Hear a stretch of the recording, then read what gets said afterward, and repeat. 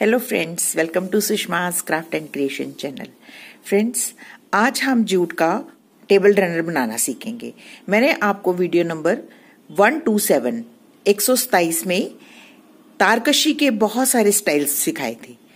उनमें से कुछ स्टाइल्स हम यहाँ पे यूज़ करेंगे और साथ में हम लेजी डेजी स्टिच और कुछ स्ट्रेट स्टिच के साथ थोड़ी सी एम्ब्रॉयडरी भी करेंगे। तो ये टेबल रनर आप जैसा देख रहे हैं, ये मैंने कॉटन जूट का बनाया है।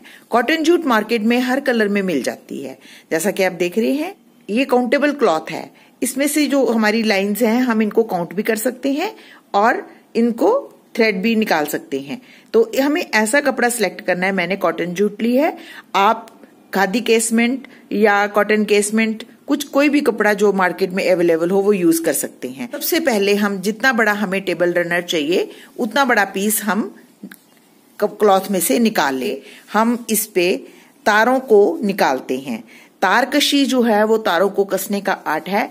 हम पहले ये वाला पोर्शन बनाएँगे। तो इसको बनाने के लिए हमें सबसे पहले थ्रेड्स निकालने हैं। हमने ये कैसे निकालने हैं? ये कुछ तो इमेजिनेशन वर्क करेगी और कुछ आप अब इस स्टाइल से, जैसे कि मैंने निकाले हैं, आप देख के भी निकाल सकते हैं।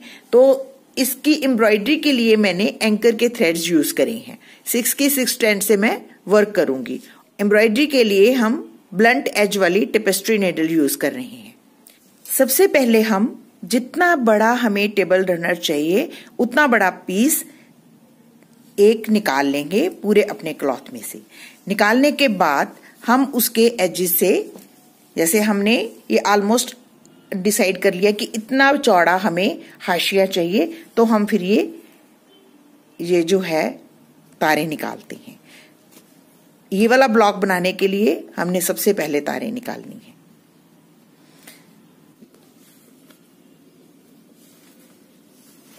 ये देखें, ऐसे बहुत आसानी से धागे निकल जाते हैं। ये मैंने दो निकाल दिए हैं।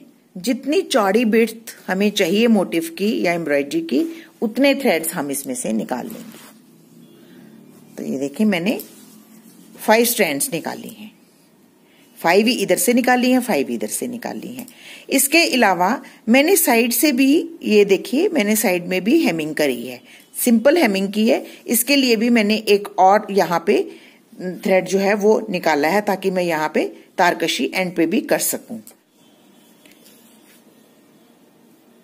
हम साइड बॉर्डर बनाने के लिए सबसे पहले ये पोर्शन जो है, यहाँ से थ्रेड निकालेंगे तो इसके लिए हम हर एट स्ट्रैंड्स के बाद एक थ्रेड निकालते हैं। यहाँ मैंने दो के दो के बाद भी निकाला है क्योंकि यहाँ पे मेरे को एक बॉर्डरिंग हाशिया देना है। तो अब ये सारे थ्रेड जो मैंने निकाले हैं, ये देखिए, ये कॉर्नर में स्केयर्स बना रहे हैं। ये बहुत ब्यूटीफुल इफ़ेक्ट देता है। इन स्केयर्स के बीच में हम लेजी डेजी स्टिच करेंगे। तो हम इन थ्रेड्स को भी ऐसे ही खींच लेंगे। ये लास्ट वाला थ्रेड है, इसको भी हम ऐसे ही खींच लेंगे।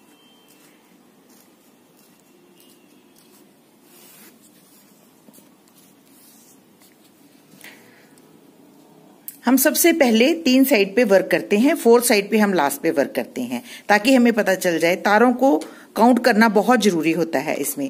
तो ये मैं चार चार ये देखें, मैंने यहाँ से शुरू की है तारकशी। इसमें मैं फोर स्टैंड उठाती हूँ one two three and four four stand उठाने के बाद इनको दोबारा से उठा के और इसके बिल्कुल सामने first and second second stitch पे यूँ नीडल को निकाल लेते हैं और इनको ज़ोर से कस के टाई कर लेते हैं।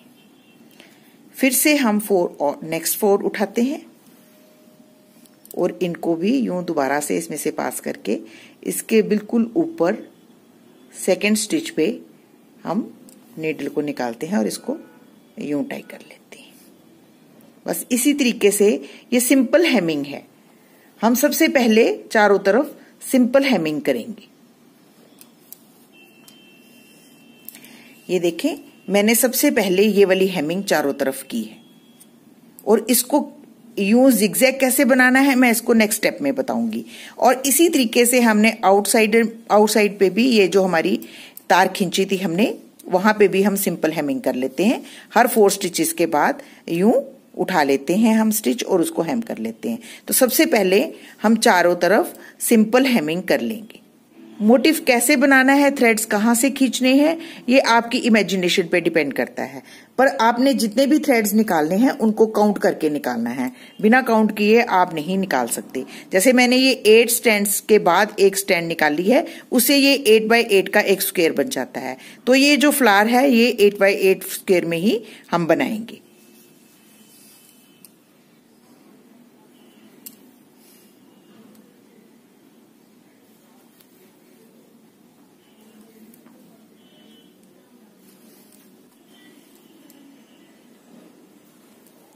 देखिए, जब हम यहाँ इस एज पे पहुँच जाते हैं, यहाँ से हेमिंग करते हुए तो हम इसको यहाँ से नीडल को, थ्रेड को यहाँ से निकाल लेते हैं। यहाँ से निकालने के बाद हम इस साइड से वर्क करना शुरू कर देते हैं। ये देखिए, मैंने इसको यहाँ पे नीडल को ले आई, और अब हम ये जो है, इसके भी फोर फोर स्टिचेस जो है, वो उठाएँगे, और यूँ इनको टकिंग करते जाएँगे।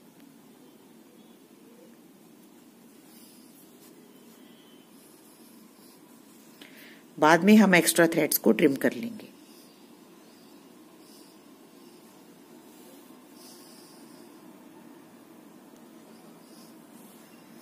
क्योंकि यहाँ से हमने काट दिया है, अब हम इसको पकड़ के ही यूँ कर लेंगे।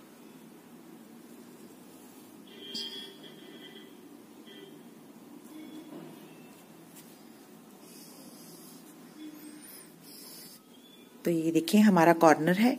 यहाँ पे हमारे टू स्टैंड्स बच रहे हैं। तो हम दो स्टैंड्स को आपस में यूँ ही हेमिंग करते हुए टाई कर लेंगे।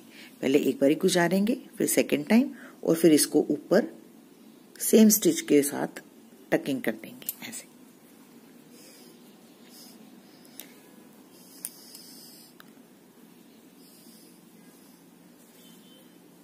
और फिर इस साइड इस साइड भी हम यूँ ही हेमिंग करेंगे। फोर फोर स्टिचेस लेंगे।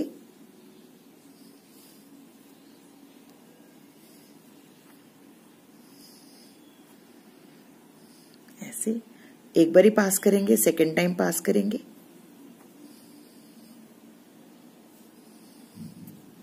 और इसको यूँ कस लेंगे। कसने के बाद इसके बिल्कुल ओपोजिट दो स्टिचेस ऊपर निडल को निकाल लेंगे।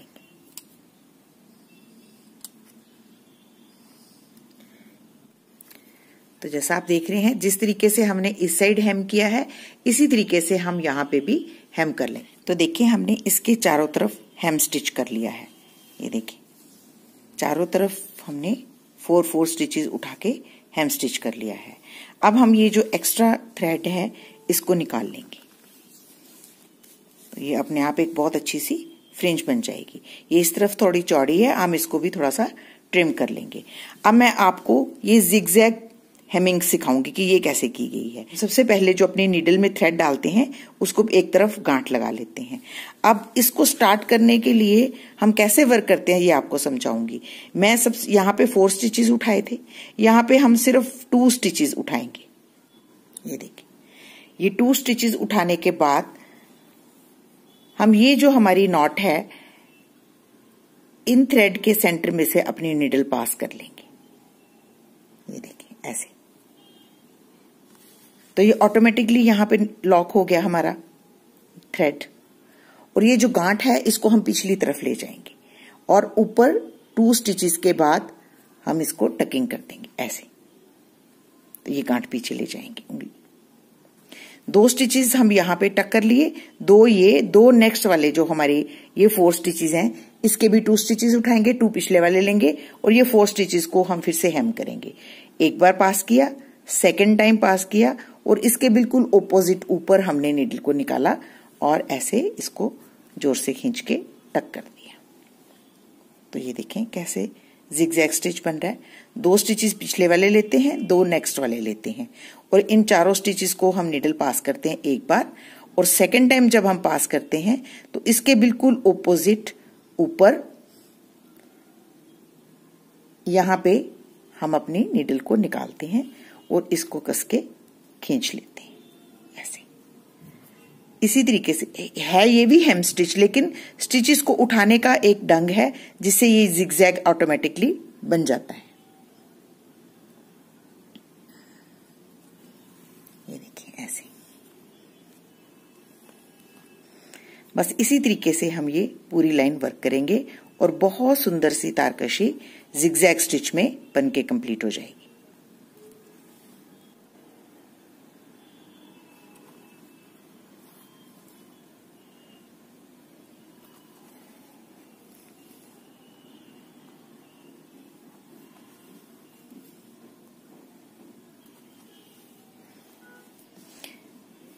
जब हमारा थ्रेड खत्म हो जाता है, हम इसको पीछे ले जाकर इसको यहाँ पे गांठ लगा लेते हैं, ऐसे।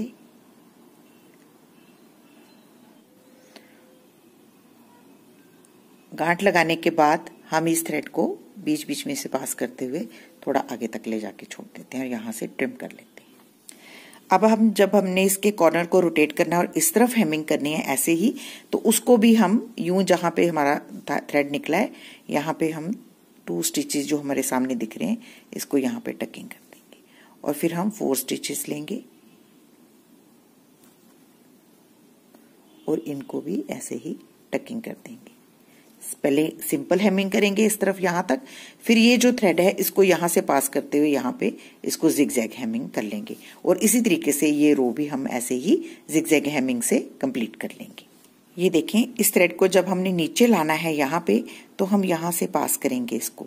ये जो हमारा स्टिच है, इसमें से नीडल को पास करते हुए और यहाँ सेंटर में से इसको निकाल लेंगे। और अब हम टू स्टिचेस को सबसे पहले टकिंग करेंगे। ये देखें, हमने टू स्टिचेस की टकिंग करी। और ये two stitches next two stitches में लेंगे और यहाँ पे टकिंग करते जाएँगे। ये मैंने आपको थ्रेड को एक लाइन से दूसरी लाइन में कैसे मूव करना है, वो सिखाया है। ये देखिए। मैं यहाँ से थ्रेड को इधर को ले आई, यहाँ पे, और यहाँ से मैंने इस तरफ़ वर्क करना शुरू कर दिया। तो ये देखिए, हमारी चारों तरफ़ सिंपल हेमिंग और जिगजैग हेमिंग कंप्लीट हो गई है। अब मैंने आपको बीच में एम्ब्रॉयडरी करना सिखाना है। जब आपकी तारकशी वर्क चारों तरफ़ से कंप्लीट हो जाएगी तो आप इसमें, इसको डेकोरेट करने के लिए कोई भी स्टिच जो है, वो लगाकर फिलिंग करेंगे। मैंने इसमें ये स्ट्रेट स्टिच के साथ सिंपल मोटिव बनाया है इसको फिलर देने के लिए। तो आपने कहीं से भी इसको स्टार्ट कर लेना। जैसे सबसे पहले मैंने इस कॉर्नर से इसको स्टार्ट किया। तो यहाँ से मैंने थ्रेड को निकाला और फोर स्टिचेस। इस तरीके से लिए, फोर स्टिचेस। इसके ओपोजिट डायरेक्शन में लिए। इसी तरीके से वर्क करते हुए ये पूरी लाइन मैंने वर्क की। फिर उसके बाद गैप क्रिएट किया कि मुझे कितना गैप चाहिए। गैप के बाद मैंने फिर से दूसरे कलर के साथ ऐसे ही सेम एम्ब्रॉयडरी करी और इस तरफ़ भी ऐसे ही करी।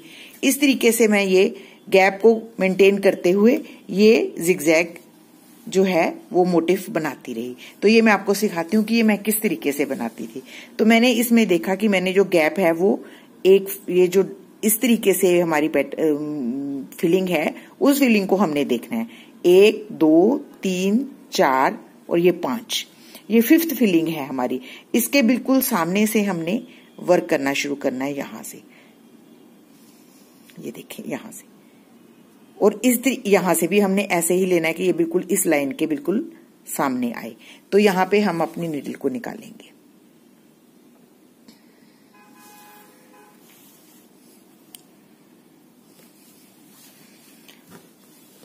ये मैंने अपनी तरफ़ से क्रिएट किया हुआ गैप है। आप किसी भी तरीके से गैप बड़ा छोटा कर सकते हैं। निकालने के बाद हम इसी तरीके से वर्क करेंगे।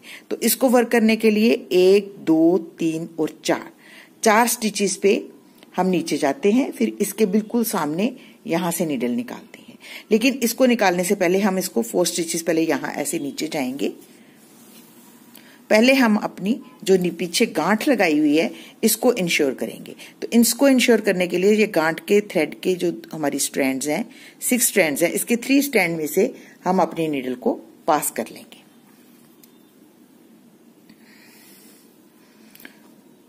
तो ये हमारी गांठ जो है वो नीचे इंश्योर होगी, या आगे पीछे नहीं जाएगी। अब हम बिल्कुल इसके सामने, ये देखें, यहाँ पे अपनी नीडल को निकालेंगे। हम ये फोर स्टिचेस डाउन जा रहे हैं। एक, दो, तीन और चार। चार स्टिचेस डाउन जाके फिर हम ऐसे स्ट्रेट स्टिच ले लेते हैं। एक बार आप जब बनाओगे, आपको समझ आ जाएगा, ये बहुत इजी है।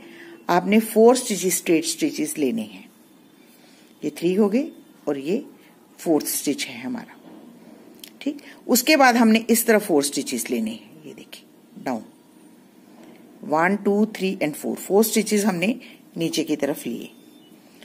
अब इनको भी इसी तरीके से वर्क करेंगे। सेम स्पेस पे हम इसको नीडल को डालेंगे और इसके बिल्कुल सामने इसको निकालेंगे। ऐसे हम इस डायरेक्शन में भी फोर स्टिचेस लेंगे। टू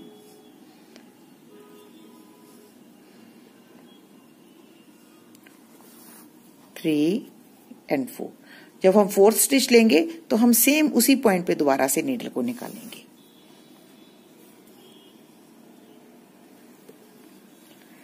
अब हम इस डायरेक्शन में one two three and four ये देखिए फोर्थ स्टिच उठा फोर स्टिचेस हम दबाएँगे और बिल्कुल इसके अपोजिट यहाँ पे नीडल को निकालेंगे और इस डायरेक्शन में फिर से हम फोर स्टिचेस लेंगे।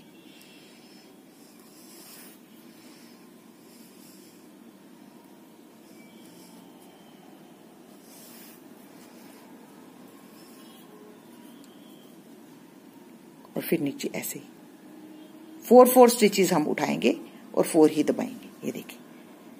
तो इसी तरीके से हम जिगजैग वर्क करते हुए यहाँ एंड तक इसको वर्क करेंगे और फिर से गैप देखेंगे। अगर हमारे पास गैप फाइव स्टिचेस का गैप बनता है तो यहाँ पे भी एक हम और लाइट ग्रीन कलर का मोटिफ बना लेंगे। तो देखिए, हमने पूरे मैट को ऐसे ही डायगनल लाइन से फिल कर लिया है। अब हम इसको और ब्यूटीफाई भी कर सकते हैं, जैसा कि आप देख रहे हैं। मैंने इसके एज पे छोटे छोटे से फ्लावर्स बनाए हैं।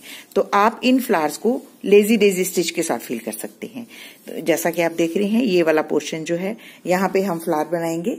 तो सबसे पहले हम जो सेंटर हमारा जगह है, वहाँ पे हम इसको निकालेंगे। फोर स्टिचेस इसके ऊपर आएँगे फोर एक साइड पे फोर इधर। तो यहाँ पे हम यूँ अपनी निडल निकालेंगे। निकालने के बाद हम इसको, चूँकि फोर स्टिचेस इधर हैं फोर इधर हैं फोर इधर हैं फोर इधर हैं, लेकिन हम थ्री थ्री स्टिचेस उठाएँगे। ये देखें, हमने थ्री स्टिचेस उठाए और इसको फोर्थ स्टिच में मतलब जो थर्ड स्टिच है, वहाँ पे हमने इसको टकिंग नहीं करनी, इसके बाहर टकिंग करनी है। उसका रीजन ये है कि अगर हम वहीं पे टकिंग करेंगे तो हमारी पेटल नीचे को चली जाएगी। तो हम इसको ऐसे ऊपर को टकिंग करेंगे। फिर से हम सेम पॉइंट पे नीडल निकालेंगे और हम पहले बीच वाला फ्लावर फोर पेटल्स बना लेंगे।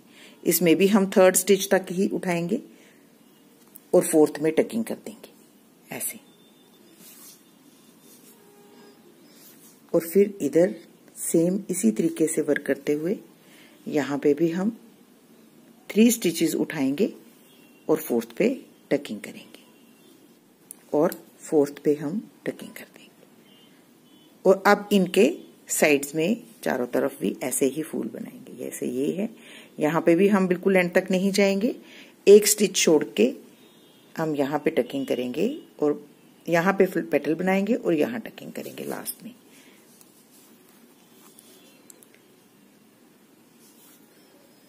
इसी तरीके से इस साइड पे भी करेंगे हम। यूँ।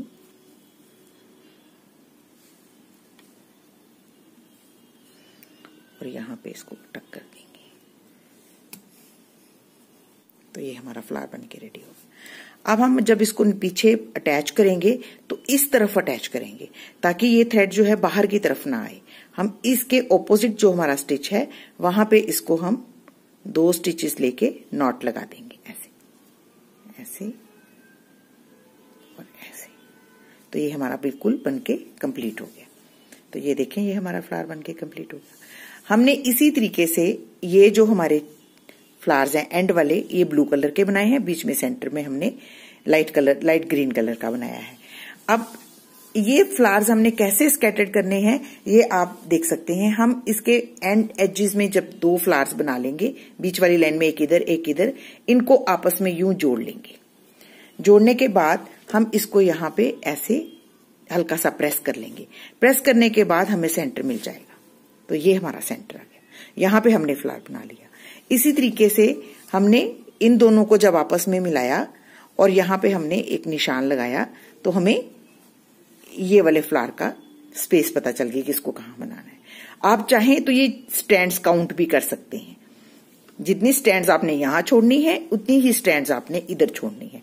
अब इन दोनों के बीच में भी हमने यूँ ही फोल्ड कर करके निशान लगाए और उनमें ऐसे ही लेजी डेजी से फ्लावर बना लिए। तो आई होप कि आपको मेरा ये वीडियो अच्छा लग रहा होगा, क्योंकि मैंने ये वीडियो जो है आपको सिर्फ़ ये बताने के लिए बनाया है कि तारकशी से हम बहुत ब्यूटीफुल रनर बना सकते हैं। तो इसके लिए मेन जो आपको करना है, वो सिर्फ़ यही कि आपने जूट कॉटन लेना है। आप देख सकते हैं, ये कॉटन का कपड़ा है और काउंटेबल इसकी स्ट्रैंड्स होती हैं। इनको काउंट करके सबसे पहले हमने जितना बड़ा पीस बनाना, उसको स्क्वेयर को निकाल लेना है और उसके चारों तरफ़ हमने हेमिंग स्टिच कर लेना है।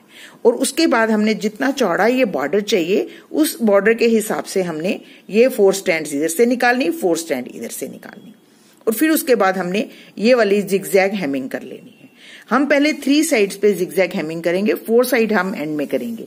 उससे हम काउंट करने का ज़रूरत नहीं होती ऑटोमेटिकली पता चल जाता है कि यहाँ पे हमारा मोटिव फिनिश हो रहा है। तो इस तरीके से हम इनको काउंट कर करके स्ट्रैंड्स निकालते हैं और फिर उसके बाद हम सबसे पहले तारकशी करते हैं और उसके बाद हम उसके बीच में जो भी मोटिव स्क्रिबल करना है, वो हम सोच लेते हैं और वैसे ही वर्क करते हैं। तो ये बहुत ब्यूटीफुल रनर्स बनते हैं डाइनिंग टेबल सेंट्रल टेबल कहीं पे भी आप इनको बिछा सकते हैं। अगर आपको मेरा ये मोटिव अच्छा लगे और ये मेरा आइडिया अच्छा लगे तो प्लीज़ इसको अपने फैमिली और फ्रेंड्स के साथ ज़रूर शेयर करें और मेरे चैनल को सब्सक्राइब करना ना भूलें। Thank you so much bye bye